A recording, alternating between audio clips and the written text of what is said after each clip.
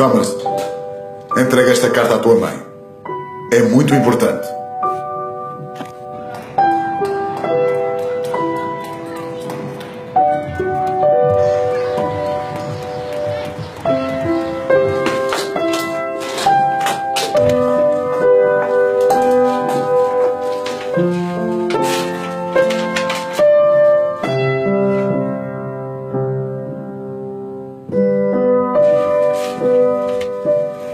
Escrito que és muito especial, Thomas. Na tua escola já não conseguem ensinar-te mais nada porque és o mais inteligente.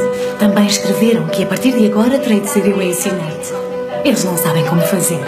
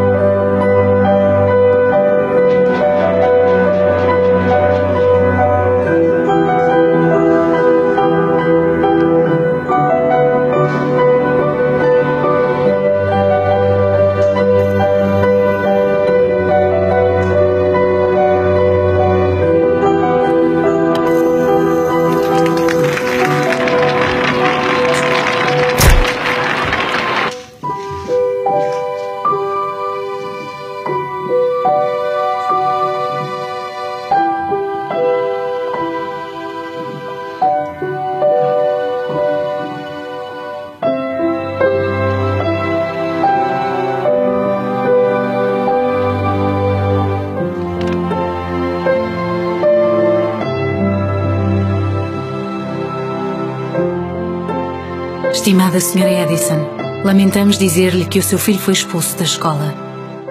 É um péssimo aluno, não progride como o resto dos seus colegas e por isso não podemos permitir que continue a estudar aqui. Ele ficará ao seu encargo a partir de agora.